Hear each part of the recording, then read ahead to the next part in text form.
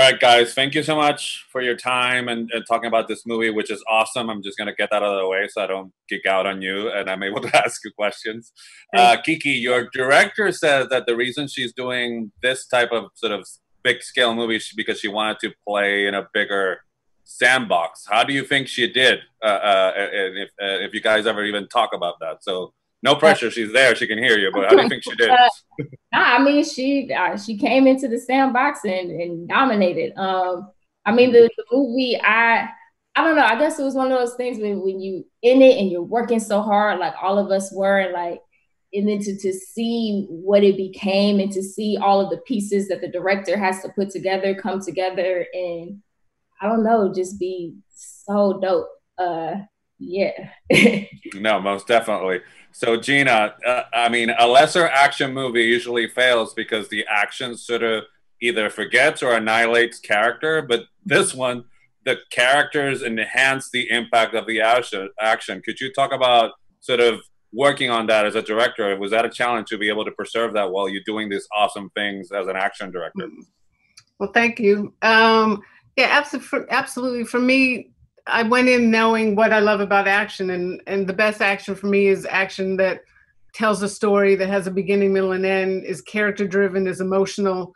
Um, so going in first, what is the story of the scene? And you know, for me, I, I honestly I started attacking it like I attack a love scene, which you know, going in, okay, I know how to do that. You tell a story, and I realized it was the same thing with action. And so knowing what I wanted from that, I knew how important it was to have the actors really be in that scene to give me that emotion, give me that character. And and so it's one thing for me to say that, it's another to find two actors willing to really go there so that they can be the ones on screen. And and that's what we certainly had with Kiki.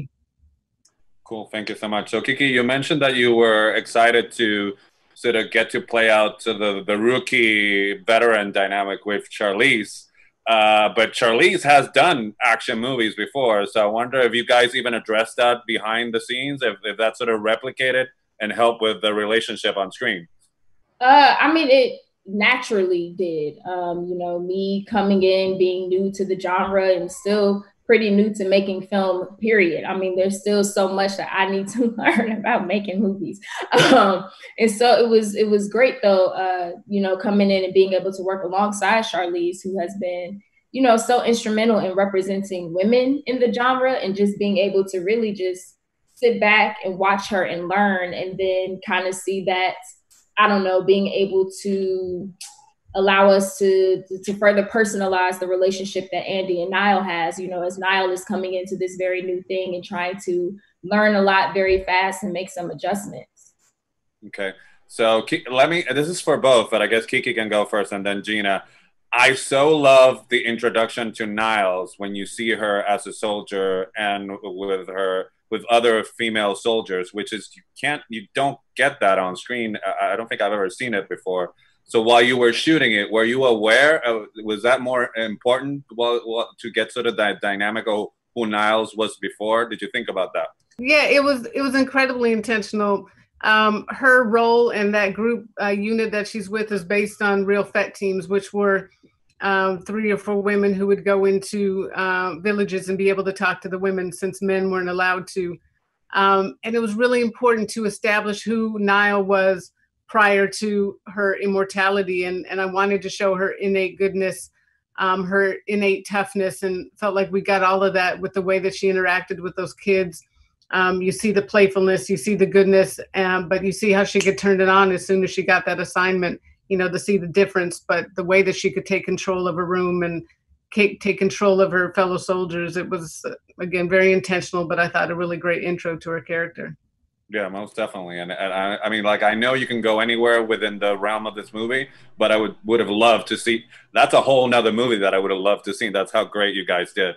So, Kiki, let me ask you this because you mentioned about having still learned to learn filmmaking, but I wonder if it was exciting the fact that you get to set, look at your sides, and it's like, oh, I got a really like melancholy. She's dealing a dramatic scene in her working, and then the next day, oh, today I'm jumping out of the window. So if you could talk about sort of a the sort of the scope of that you took on with Niles, which must be exciting as an actress. Oh, definitely. I mean, that was one of the things once I, I read the script. Uh, that got me excited was the opportunity to play with all of those different colors. Um, and I was excited because when Gina and I first met at the director session, you know, she made it very clear that she wanted to lean into, you know, the the heart that Nile has and not let it get lost in all of the physicality, which made me as an actor feel great because although I'm entering into this very new genre, I can bring, you know, some of the stuff that I already know in terms of tapping into, you know, that more, I don't know, that vulnerability and, and be, I don't know, given space to include some of that. Uh, so I was I was very uh, ha- happy about that. Yeah. Yeah, the fact that it's in the movie is what makes it really special. So Gina, I'm about they're about to wrap me, but so uh, in the olden times when you could go to the theater, I think that anybody that went to see Love and Basketball, it was sort of a seminal moment for us. I have a buddy who won't stop talking about it, which I actually appreciate. So let me ask you this: Is there something? What do you remember about that? And do you think that there was something from that movie that you were have been able to hold on to as a filmmaker and keep using throughout your career? I think the, the greatest thing I learned about that film was to fight for your voice. It was a, a film that was so personal to me. It was a story I wanted to tell. Um, but Hollywood wasn't making films like that. Certainly not centered on on black women. And but I believed in it so much, so passionate about the story that it was worth that fight. And um, so that passion has absolutely carried me um, throughout my career, my Lord, 20 year career. Um, and I'm, I'm honestly, I'm grateful that I can still have that passion after everything. Well, it's still present on screen. So my time's up. Like I said, you guys, it's a fantastic movie. You should guys be really, really proud. Stay thank safe. You. And thank you so much for your time. Thank you, Juan. All right. Have a good one.